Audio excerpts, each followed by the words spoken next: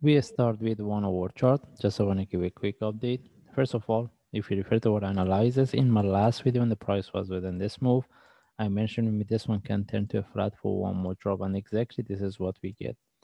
Okay, now once you if we put this one in relative to the previous one, we want to see what we have. If we refer to the indicators, we have a divergence and but MACD doesn't show us a divergence. Okay, now we want to see what's the next and how we can look for trade. In this case, we move to daily chart based on daily charts similar similar to other charts uh, we can expect the price to consolidate here for a longer time. This means we don't have any uh, anything to discuss. And if we move to forward chart we have been looking for this one as a flat.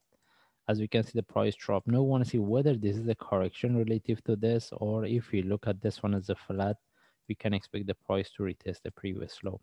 First of all since most of the charts they have the similar movement we cannot confirm whether the price can retest the previous low or not. And the way the price is dropping is really corrective. That means we can put this one relative to this as a correction. That means if we get any reversal for buy, this is what we will be, we will be more interested to look for. Anyway, anyway, how deep the price can go, okay, still we can expect the price drop to 0.23, that's mean 23 cent, all right. Now we're going to see how we can look for trade. In this case, we move to one hour chart.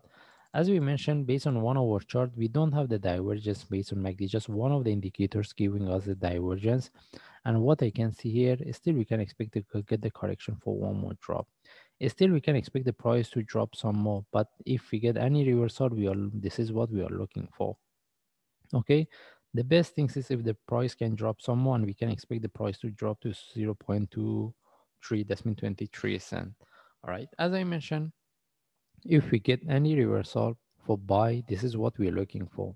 But right now we don't have any trade from here. That's mean we have to wait because if this one turn to a corrective move we can look for one more drop. That means still we can look for continuation as a corrective for sell similar to what we get here. But any sell will be a short-term sell the best things and what we're looking for if we get any sharp move with the flag of correction, we will take the trade and we want to see the breakout of this. All right. And again, if I refer to the MACD, we don't see the divergence and mostly we can expect this one to give us one more drop.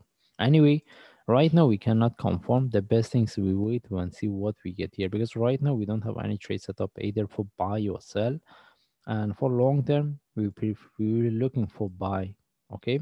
Anyway we just follow the chart. If i see any update or any trade setup i will share. Thanks